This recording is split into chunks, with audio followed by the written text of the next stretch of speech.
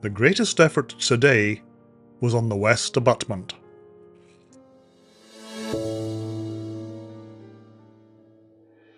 With concrete curing nicely on the east side, all efforts, and the whole Priestly team, moved to the west abutment. There was drilling for rebar to be inserted into the face, and a considerable amount of hammering.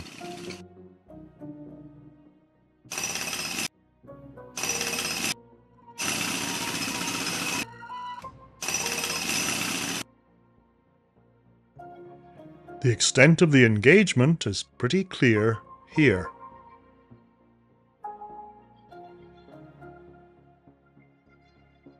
A considerable effort is being made to cut back the existing edge. Work is also going into tidying up and clearing the site.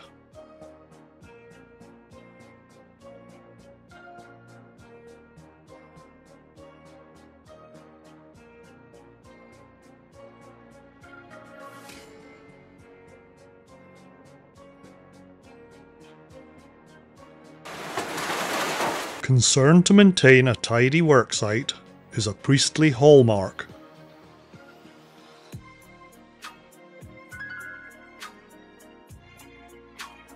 Even the machines have a role to play.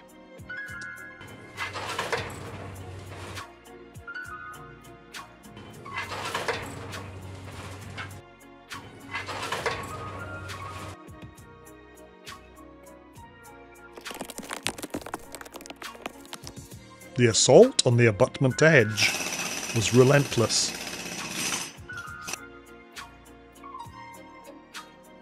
I'm not certain, but I think this interesting cloud resulted from the use of an air gun to clear material. Work on the abutment was no less intense as the day wore on. It became clear too, I think, that support for the trunnions was still resisting. However, the back shelf appears almost ready, and the holes for rebar are present.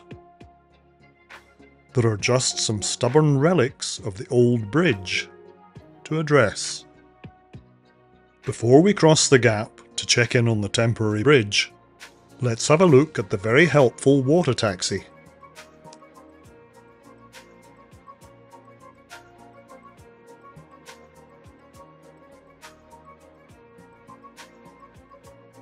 With the water taxi clear, let's check out the situation on the temporary bridge.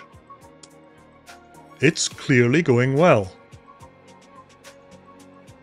Often building their own work platforms as they go, the ironworkers are doing a great job.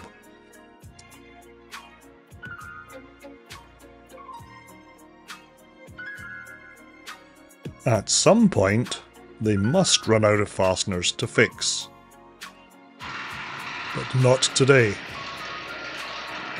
We'll end today's update with a run along the bridge.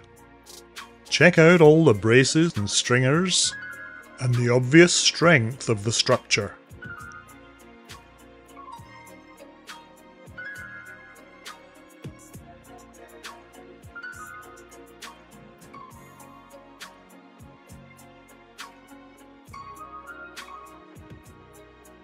Thanks for watching, and be sure to come back for the next update.